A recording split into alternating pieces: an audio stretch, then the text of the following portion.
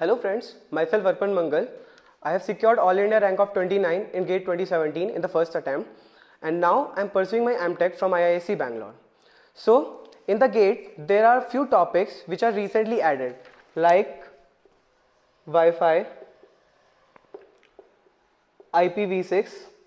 These are the two topics which are added in GATE, uh, GATE 2016 only and in GATE 2016 we have one question from IP uh, on, on Wi-Fi and uh, in 2017 we didn't have any question from these two topics.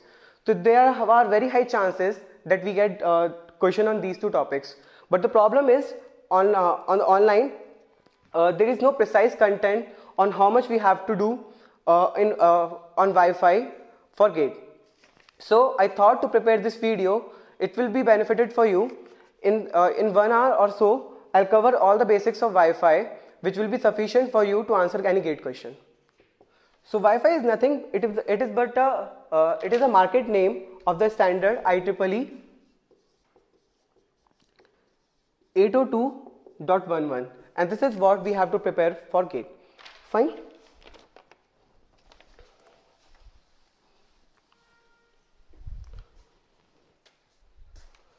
So nowadays we are heading to a wireless network. So the idea here it is just a LAN but without wires. So we don't have headache to connect our device. There are long wires coming on. So if we don't have wires, it become handy. We can move around with, with our laptops while connected to the internet. Fine. Uh, LAN without wires.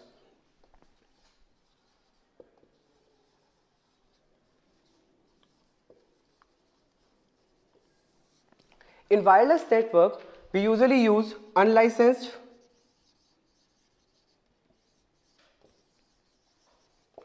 we use unlicensed frequency of the ISM band and low power. It is because to provide services in cheap and to provide service to the more people. If we use unlicensed frequency, they are available free uh, for free in the ISM band so it will be cheap to provide Wi-Fi services and low power because then we will be able to provide services to more number of people. There are various uh, techniques in wireless network 802.11, Bluetooth and UWB and so on. But for the gate syllabus, this is what we have to prepare 802.11 and this is just the and the market name of 802.11 is Wi-Fi. IEEE 802.11 Wi-Fi is a standard which provide standard of wireless LAN which cover two layers physical layer and the data link layer.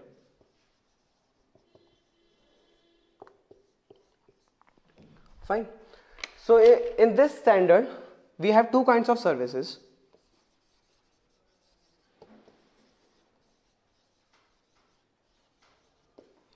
One is BSS basic service set.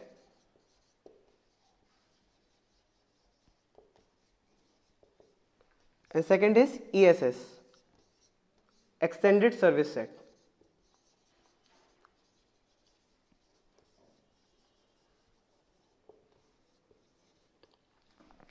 Okay so what is BSS BSS is just a unit or a building block. So we have multiple stations which can communicate with each other without any wires. So this form a basic building block. These, these peers, these have without wires, they can communicate with each other. Fine. So these station can be mobile or stationary. So this form a basic building block because huh, all the station so this station covers the range in this circle. So this station can communicate wirelessly in this set. So this form a basic building block or BSS. In this we can have a optional centralized station also which we call as access point. It is optional. If we have an access point, we call this architecture as an infrastructure architecture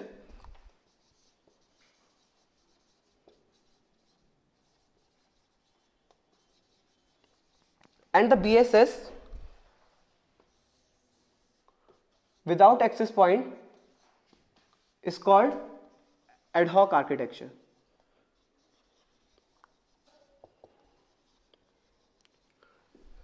So why do we have access point is if we have a centralized base station it became easy for us to communicate.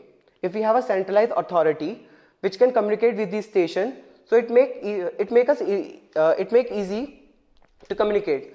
So if we have access point we call it as infrastructure architecture otherwise it is a ad hoc architecture. As it is a wireless network the range of this device in which they can communicate is very less. So the idea is to, to connect various BSS so that each station can communicate with a larger number of stations. So what we do is we have the second type of services which we call as ESS which is extended services. It is nothing but a connection of various BSS.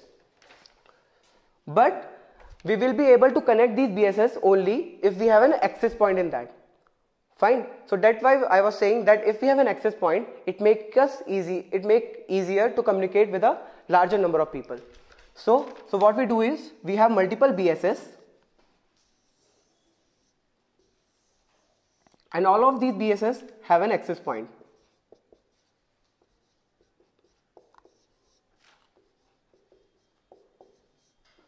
And there are various stations. Now, a station can be a part of one or two BSS, that's not a problem. Now, so this circle, this is a one BSS and these nodes can communicate with each other wirelessly. But what if this node want to communicate with this node?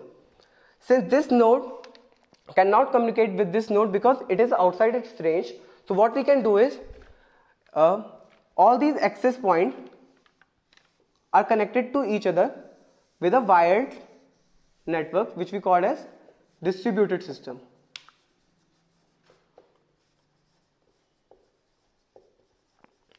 Now this distributed system can be any wired LAN.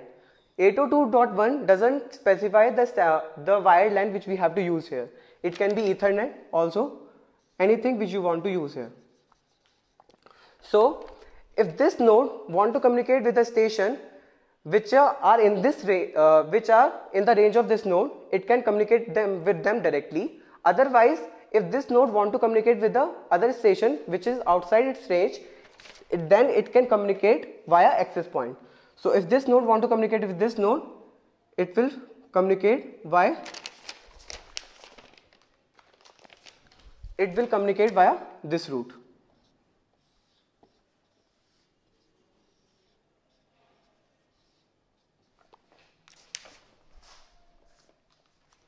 and if this node want to communicate with the node inside this range it can communicate directly.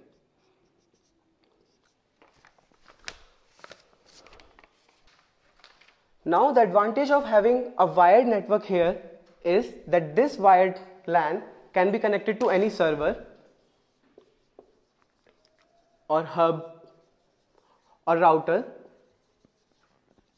or anything. So in this way this node can have access to the whole of the network. Fine.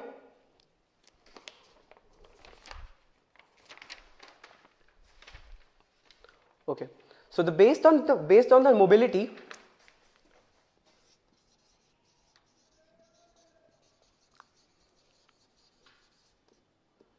based on mobility we have the we have three types of station or node one is no transition nodes BSS transition stations and the ESS transition. So if a station has the capability to move inside this BSS, its BSS only, then we called it that station as a no transition station. If a node or a station has capability to move to the other, other BSS which are a part of the same ESS, then that station will be called as BSS station.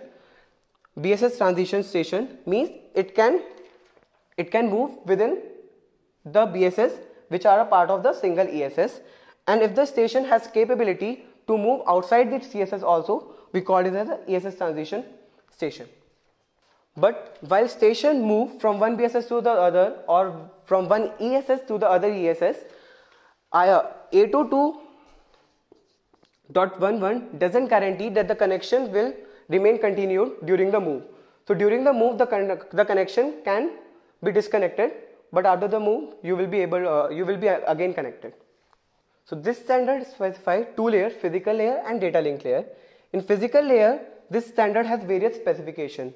So based on the encryption and encryption scheme, encoding scheme, or the multiplexing scheme, we have various version of 802.11, 802.11a, 802.11b, 802.11g. And data link uh, layer, we have two parts, medium access control layer and the logic link layer control. In the medium, in the MAC layer, we have two sublayers, DCF, distributed coordination function and the point coordination function. So 802.11 provide two kinds of services, contention free services and the contention based services. So contention free services are optional. So distributed coordination function basically provide contention based services. So this is compulsory but if we want to, uh, to have contention free services we can have a PCF running on top of DCF. Fine. So we will learn about the DCF first and then we move ahead. Okay. So let's consider let uh, let's consider a situation. A station enter a network. Now this station can be in the range of various access point. So to which access point this station can associate. So so this station can associate itself with this access point as well as can this access point. So the process or the technique by which the station associate itself to one of the access point within its reach is called scanning.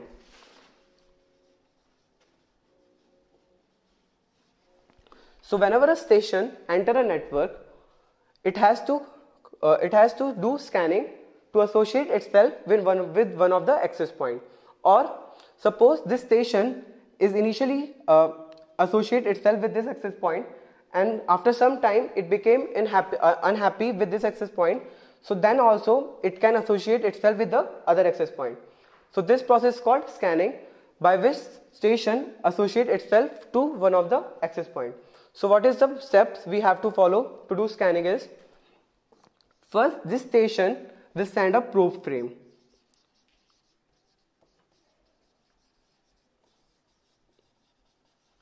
So this station will send a probe frame and all of the access point which are in the range of this station will get this probe frame. Then all the access point which are in the reach of this station will send a probe response frame. All access point after getting all the probe all the probe response frame this station will associate itself with one of the with, with one of the AP. So this station will select one of the uh, AP and it will send association request to that access point.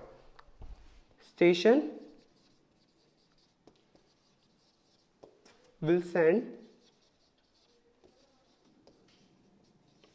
frame to that AP. So let's say this station send probe frame to all these access point and then all these access point will send probe response frame. After getting all the response probe response frame, this station will choose one of the access point he want to associate itself with. So let's say it choose this access point. Then this station will send association request frame to this access point and this access point will send association response frame to this station and the connection is built.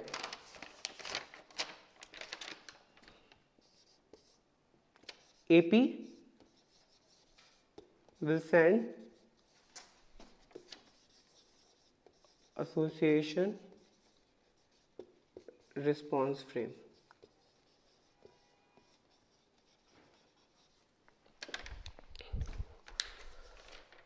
So this is called scanning. Basically, this is called active scanning.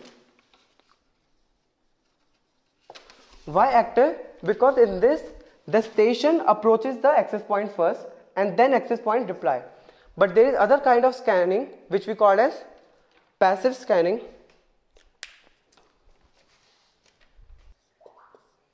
So time to time all the access point will send a beacon frame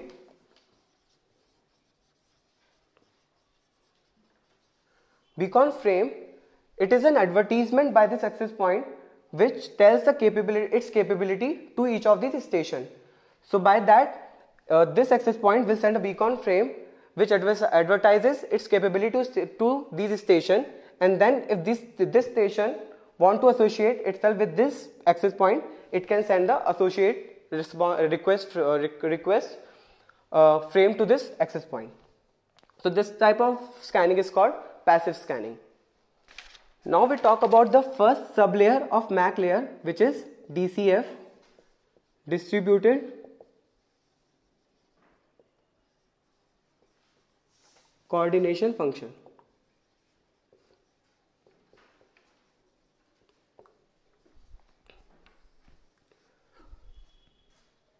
So this is a compulsory service and this DCF provide contention based service.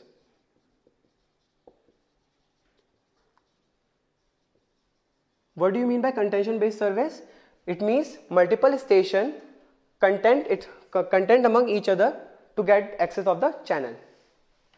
For that it uses CSMA CA carrier sensing multiple access collision avoidance not collision detection. Unlike in wired, we use CSMA CD, carrier sensing multiple access collision detection. Actually, collision detection is a better technique because if we can detect the collision, we can do retransmission and other thing.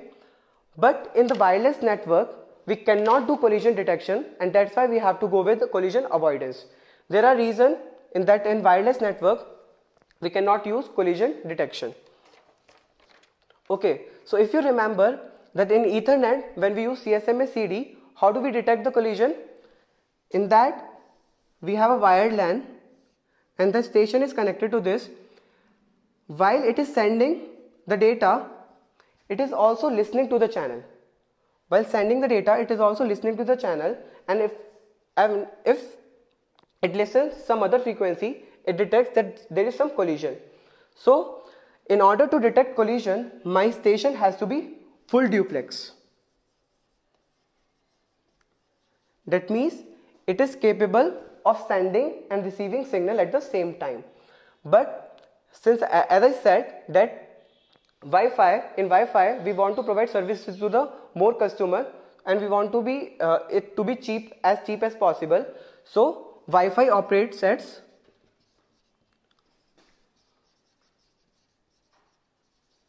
half duplex.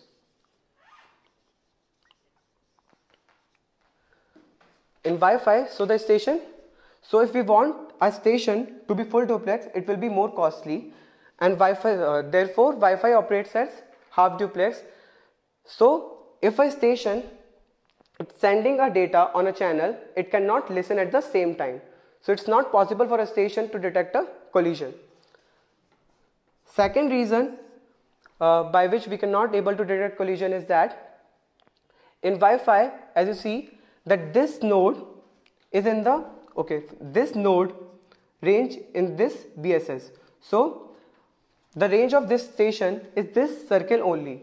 So when when we want to detect collision every station must be aware of other station which is sending the signal. But in Wi-Fi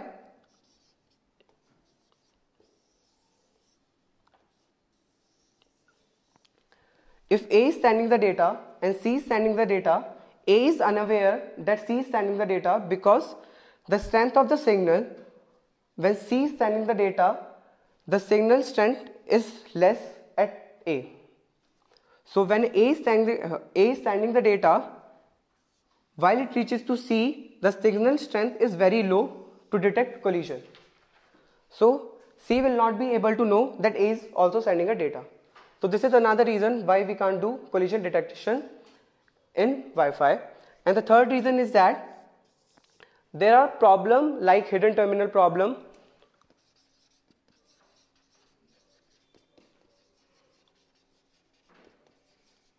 uh, which we'll discuss later and due to that also we'll not be able to do collision detection in Wi-Fi. So we have to go for collision avoidance. So in DCF we use CSMA CA carrier sensing multiple access collision avoidance. So what is the process now? We have a source and we have a receiver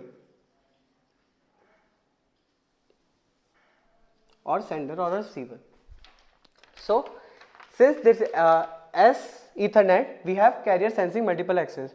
So when this sender or this source want to send some data to this receiver it first it first sends the carrier.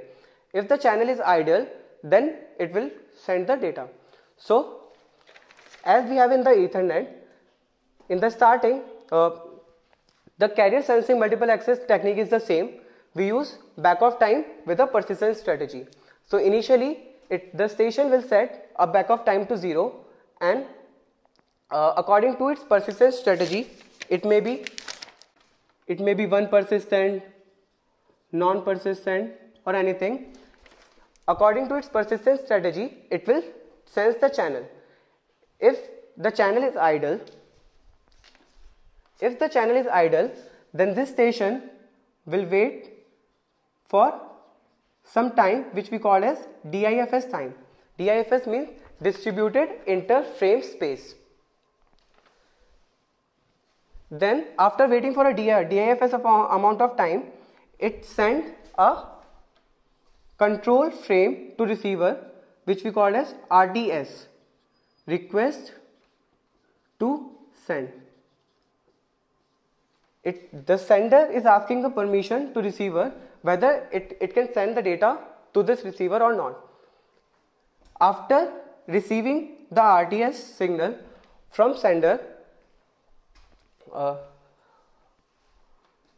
this it will wait for ISFS amount of time which we call as short inter frame space and then it will reply with CTS signal clear to send.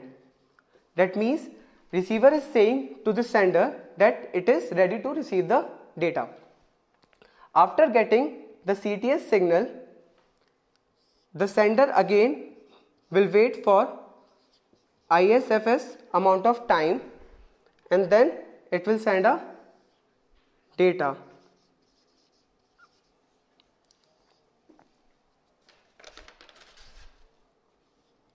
After receiving the data, the receiver will wait for ISF amount of time and will send an acknowledgement.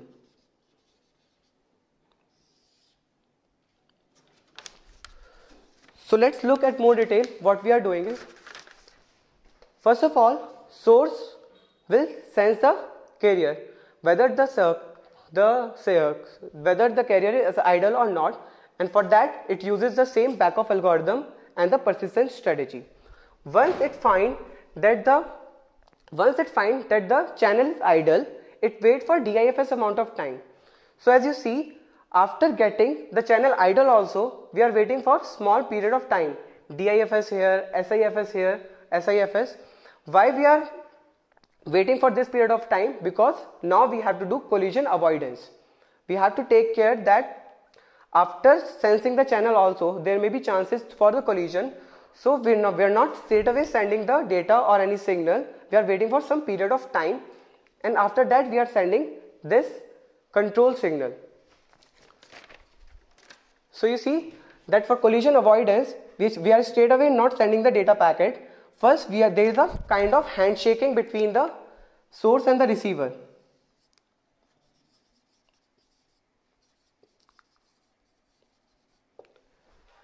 It first requests whether the receiver is ready to take the data packet or not. When they, this kind of handshaking is done, then only the source will send data packet to the receiver.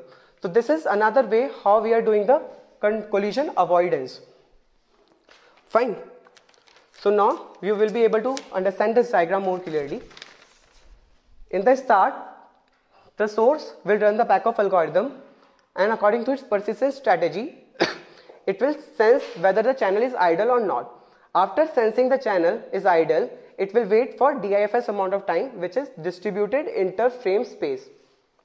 After waiting for this period of time, it send a request to send signal to the receiver and it start a timer. See, in this uh, we, we, how, we, how do we know whether the uh, RTS signal is received by the receiver or not? There could be a collision in between. For that, when it send an RTS signal to the receiver, it start a timer.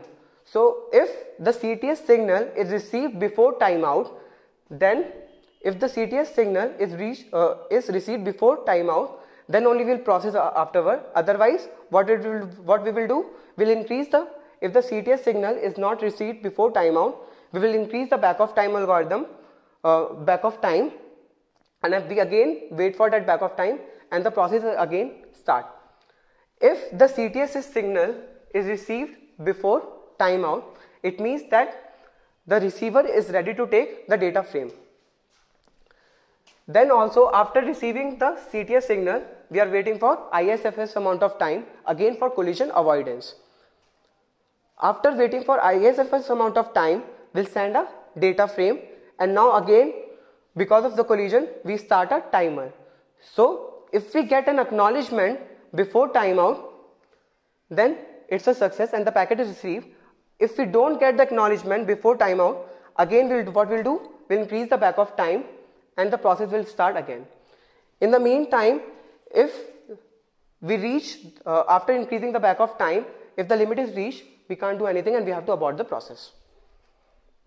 So this is the whole picture why uh, for collision avoidance we are waiting for short period of time and we are sending uh, we are doing a handshaking between the sender and receiver before sending the data packet. Apart from collision avoidance, waiting for this period of time is important because as I said in the Wi-Fi in Wi-Fi station are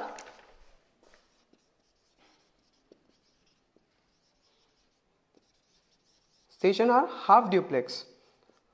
So it may need to change its state from sending state to the receiving state. So for that some amount of time is needed. So for that also we uh, before sending up data packet or before listening we wait for some period of time. And these these timings are important for priority. Suppose two station there are two station.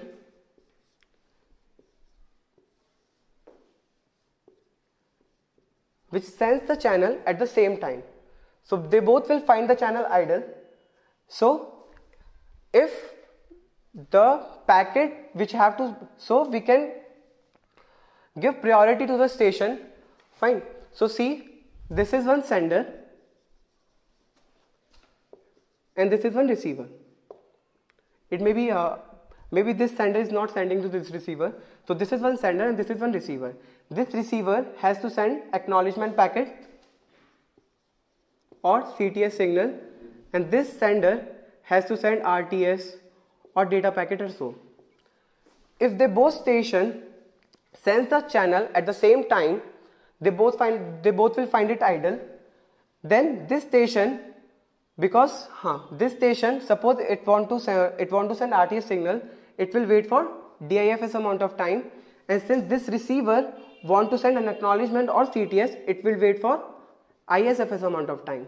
So now, if we want that if both if these two stations sense the channel at the same time and we want that this receiver should send the packet first because it is sending an acknowledgement or the clear to send signal. So we want to give priority to priority to the acknowledgement packet. So what we can do? We can make DIFS bigger than SIFS which is generally the case. So DIFS is bigger than SIFS so if sender or another receiver is accessing the channel at the same uh, is sensing the channel at the same time because it will wait for more more amount of time receiver will succeed and it will send the acknowledgement packet first before sender can send the RTS packet Fine. So these intervals are very important to give the priority to the packets for avoiding the collision and to switch between the receiving state and the sending state. For collision avoidance, we also want when this station is sending some data to this station, we want that other station should not send data in between to avoid collision. So when this station is sending some data to this station, how do other station know that they uh, they don't have to send any data? So for that, when for that also this handshaking helps. When this station send RTS packet to this station, the all the station which are in the range of this source will hear this RTS packet. And in this RTS packet we have a field called duration field in which it is given the time amount for which this these two stations want to occupy the channel. So when so when the other station which are in the range of this source read this RTS signal they know that the uh, this amount of time the channel is going to occupy. So they start a vector called NAV network allocation vector. So whenever the other station here RTS or CTS and in, in these packets there is a field called duration field in which the amount of time this transmission is going to take place the time is there. So when the other station hear this RTS packet it start its NAV time. This is a timer or we call it a network allocation vector. So for this period of time other station they are not going to even sense the channel. They will sit idle to avoid collision. So we can add one more thing here that before sensing the channel before sensing the channel the station check its NAV timer. If NAV timer is expired then only it sends the channel otherwise it wait for its NAV to get expired. This is also meant for collision avoidance. So in Wi-Fi we have two problems. One is called hidden terminal problem and the other is called exposed station problem. So what is hidden terminal problem?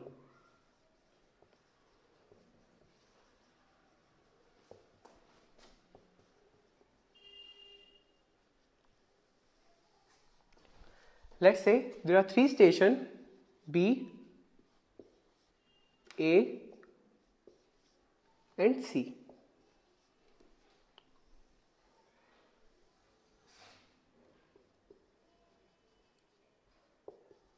The range of B is this circle and the range of C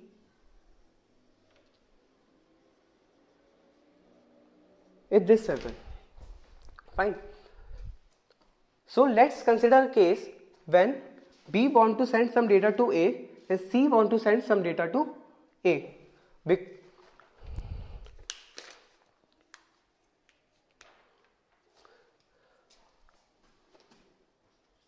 B want to transmit some data to A and C also want to transmit some data to A.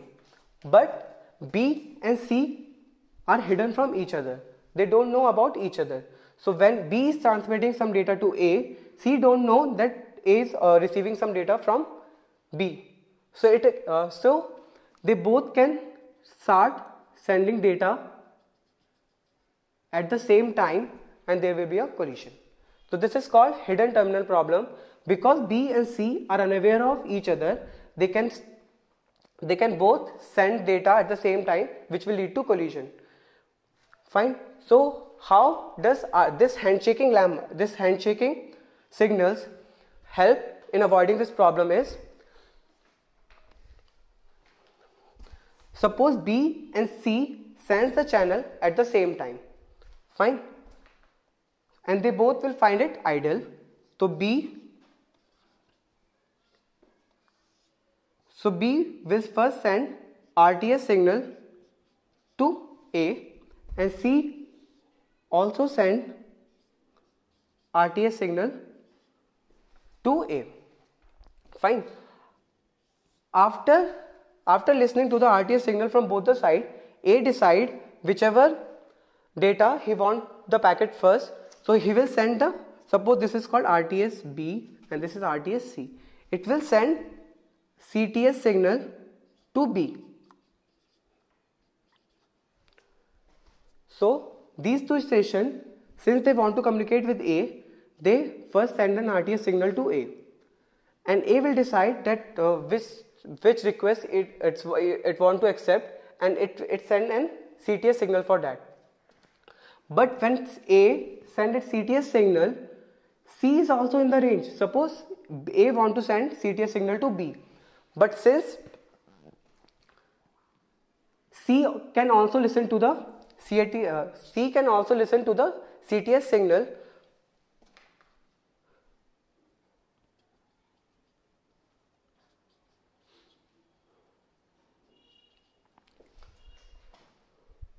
When A send a CTS signal to B, C can also listen to that signal. So C know that there, there may be some hidden node which want to communicate with A, so it will stop sending the data. So this hidden terminal problem can be solved by RTS and CTS signals. Okay. So the second problem we have is exposed station problem. This is a uh, reverse of the previous problem. In this problem, station is not able to send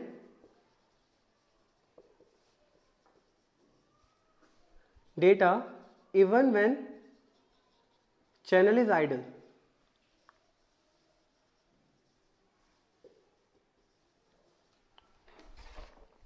So let's consider one example.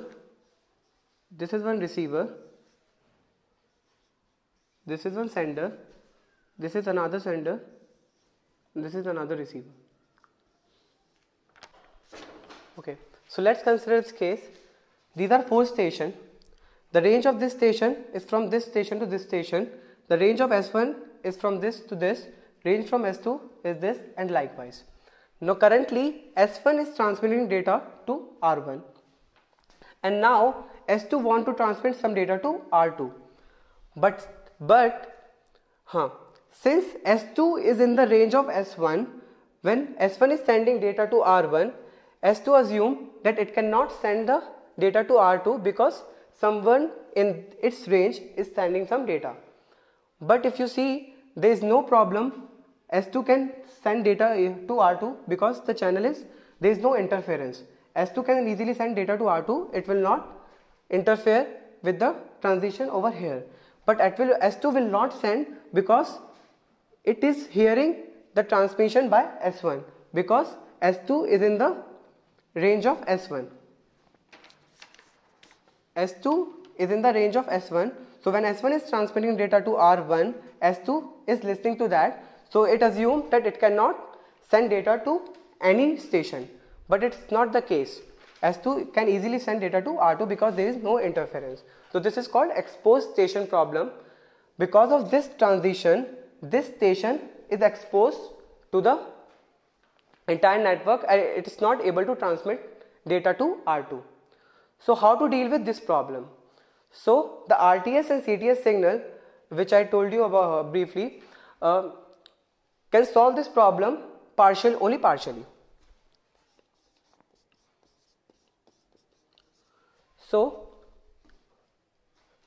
when S1 want to communicate with R1 it first send an RTS signal to R1 S1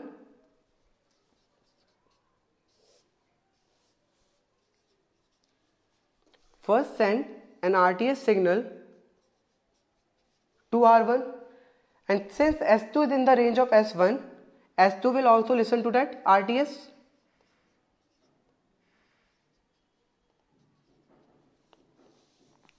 Fine. But when R1 reply to S1 with a CTS signal, then S2 will not listen to its CTS because S2 is not in the range of R1. So for this transmission, S2 will receive the RTS signal, but it will not receive the CTS signal. So by this, S2 can S2 can detect that this is a exposed station problem. So it can send data to R2. There is no problem. It can send data to R2. So RTS and CTS signal can solve this problem. So with the help of RTS and CTS signal, S2 can detect the exposed station problem. Means that S2 can detect that S1 is communicating with a node which is not interfering the node it he want to communicate with. So what it will do? It will send an RTS signal to R2 but if S1 and S2 are not synchronized, if S1 and S2 are not synchronized, what do you mean by synchronized? Means if their data rate are different or their packet size are different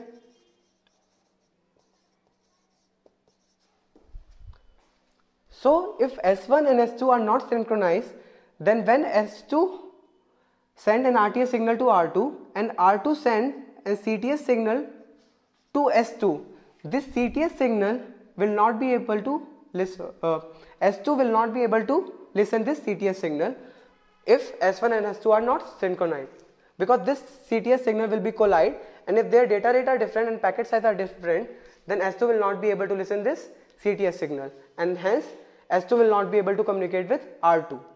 So this is this problem is called exposed station problem means even if the channel is idle S2 is not able to communicate with R2. Okay until now we talk about DCF sublayer of MAC layer which provide contention based services and it is compulsory to provide. But there are some circumstances in which I want to give priority to, priority to some station to get access to the channel. Suppose I am running only uh, DCF protocol. So in that all of these station are running CSMA CA protocol. So any of these station can get access to the channel. But what if this station want to send some time sensitive frames? Means uh, it is important to get uh, to get ch channel by this station first. But if I am I am running only DCF, there is no mean that I'm, I can guarantee that this station will get the channel. Any of these stations which are competing with, uh, with it can get access to the channel. So for this, this kind of scenario, when I want to give priority to, to some station to get access of the channel, what we do is centralized base station which is access point, it run PCF, PCF uh, protocol which provides contention free services.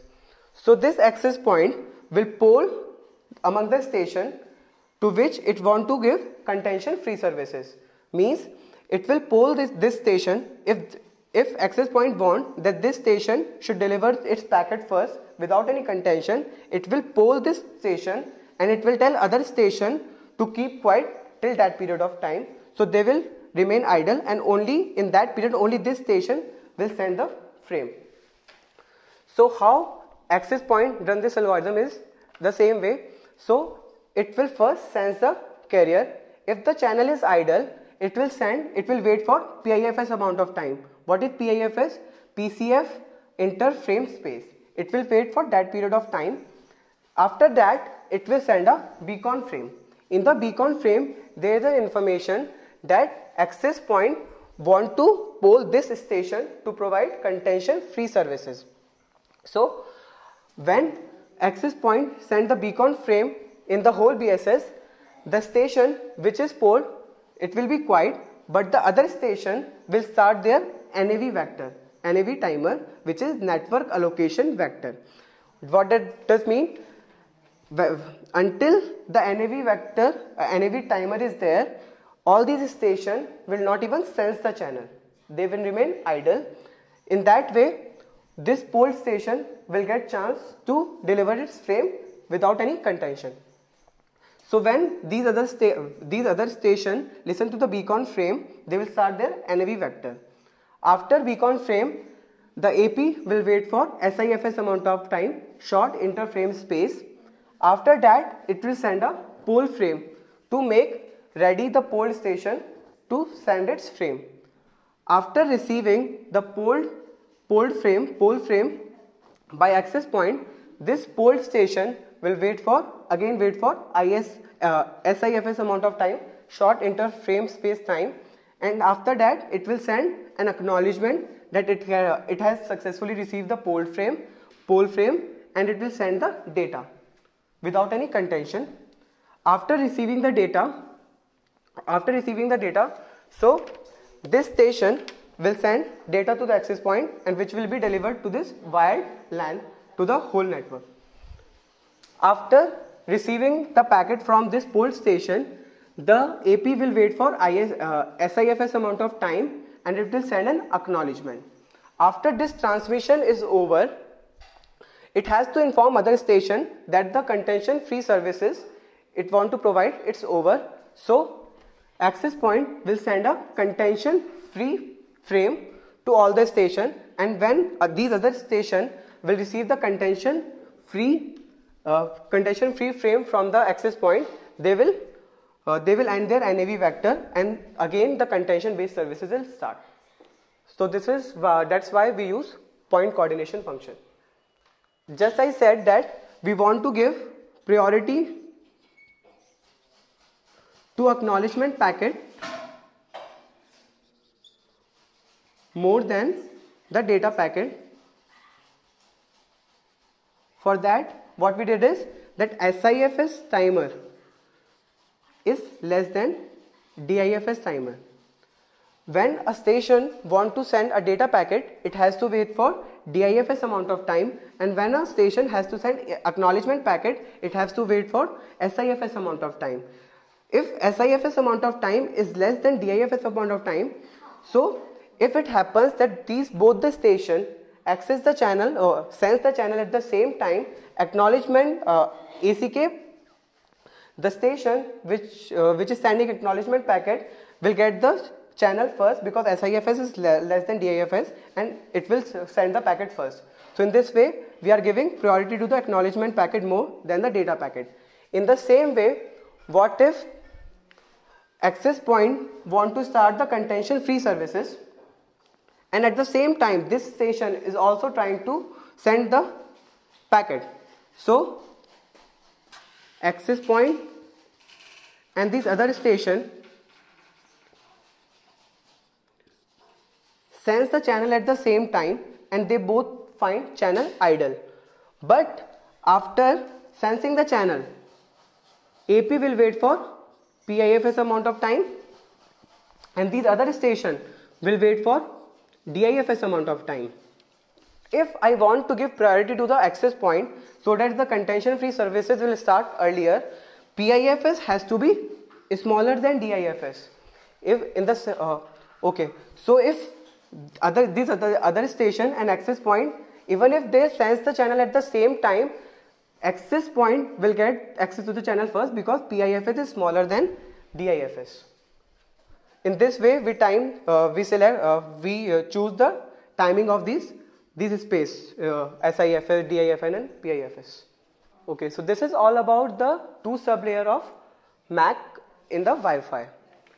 In Wi-Fi, fragmentation is also allowed.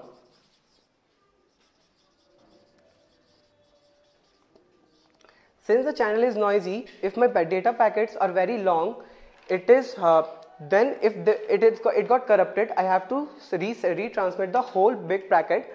So it is better if I send the small packet. So in Wi-Fi, the fragmentation is allowed. So we now talk about the frame format. All these things which we are going to learn now, you need not to mug up. Just get the brief idea and if the question came on this, you will be able to do. Fine. So in the frame format, these are the particular fields. Two bytes are given for frame control. Then we have a D means duration. Then we have address 1, address 2, address 3, sequence control which is a sequence number, address 4, frame body and the FCS which is a checksum. So in the frame control which is of 2 byte there are uh, various subfields. The first field is protocol version then we have type. So in, in Wi-Fi we have various type of frame. For example we have management frame. So if you remember in the starting I told you about that if the station enter in the network it have to associate itself with the access point. For that it send the probe frame, associate request frame, request frame, probe frame, associate request frame. All these are management frame. Next type of frame which we have are control frame which are RTS, CTS, acknowledgement frame all these are control frame and then we have data frame. So in frame control we have protocol version then we have we have to specify which type of frame is this then in the particular type also we have various subtype. So for example if the type is control frame it could be an RTS frame, CTS frame or acknowledgement. So we have to specify its subtype. Then we have these two particular bits which means to DS and from DS. DS means distributed system.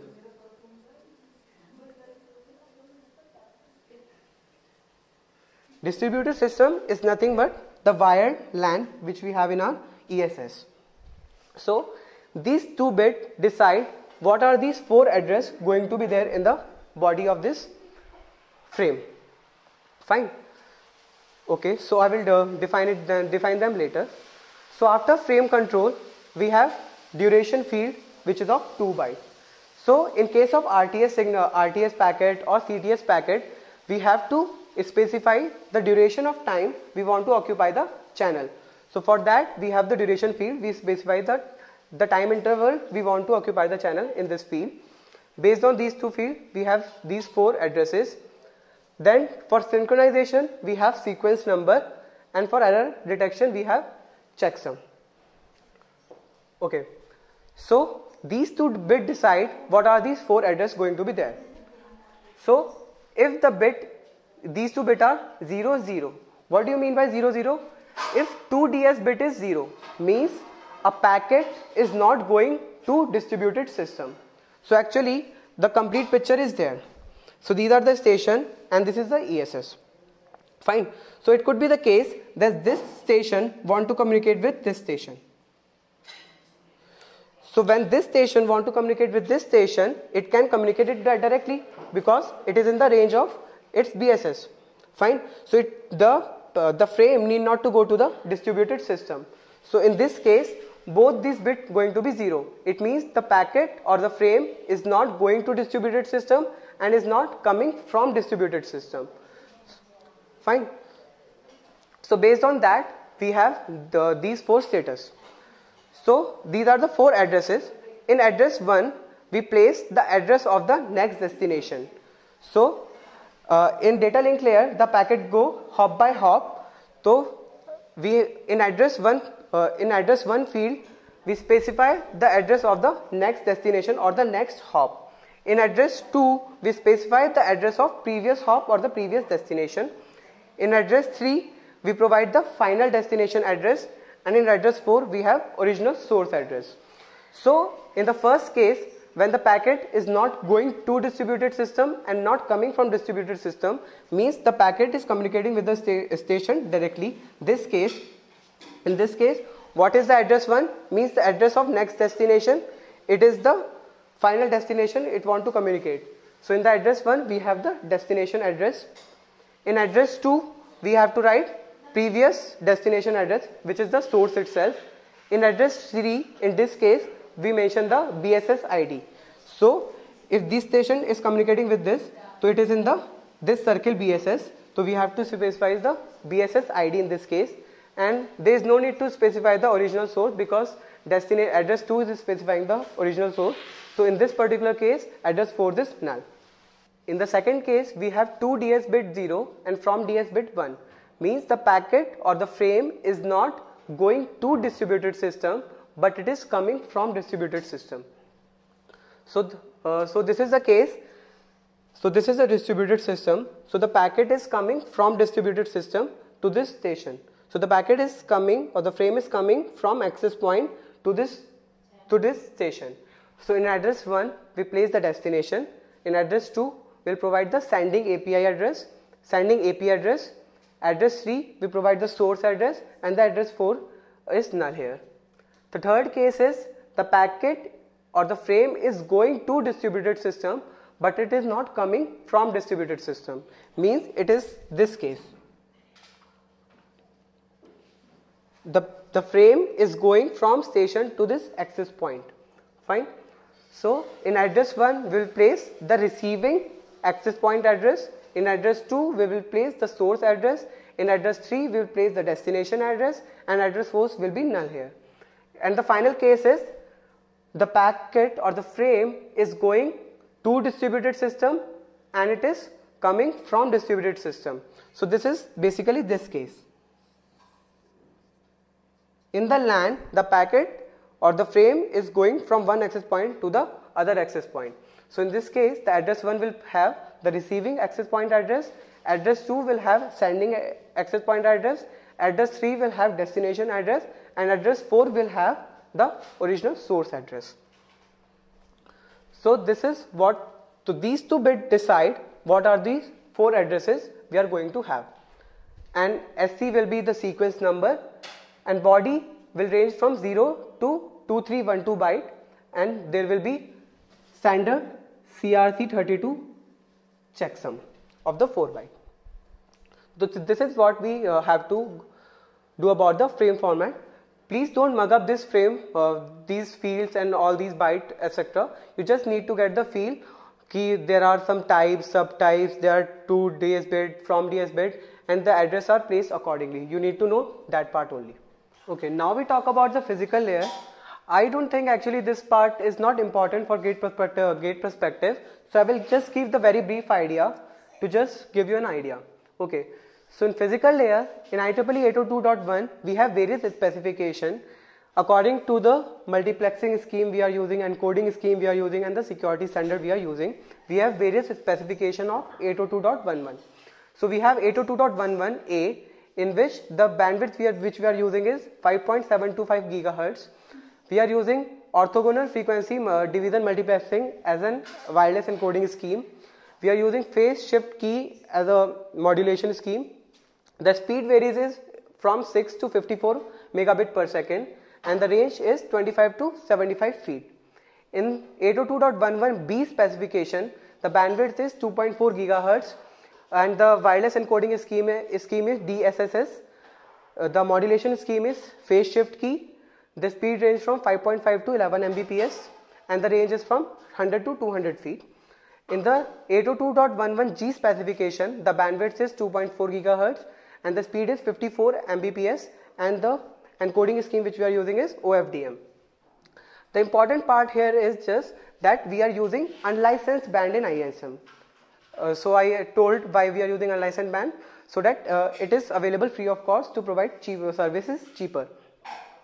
So in physical layer we are using this uh, encoding scheme FHSS frequency hopping spread spectrum and it is used in original WLAN standard 802.11. Uh, we have also DSSS direct sequence spread spectrum which is used as an encoding scheme in 802.11b. We have OFDM orthogonal frequency division multiplexing which is used as an encoding scheme in 802.11g. Uh, in the wireless network, security is main concern because we are using unlicensed band, so it is open to all. So your data is not secure so you have to go for security uh, it's a main concern here.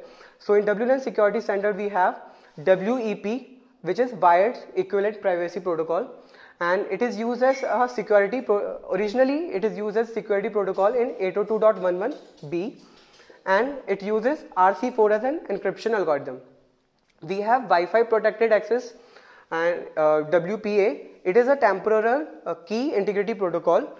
And encryption uh, the main idea here is that encryption uh, encryption algorithm changes the key dynamically for each data transmission so the key will be changing uh, dynamically for each data transmission this is the idea here and the encryption algorithm is same RC4 we have the second version of WPA WPA2 in which we use instead of RC4 encryption algorithm we use advanced encryption uh, encryption standard AES which is stronger than RC4 so this is what about the physical, physical layer. Uh, it was just to give you a brief idea.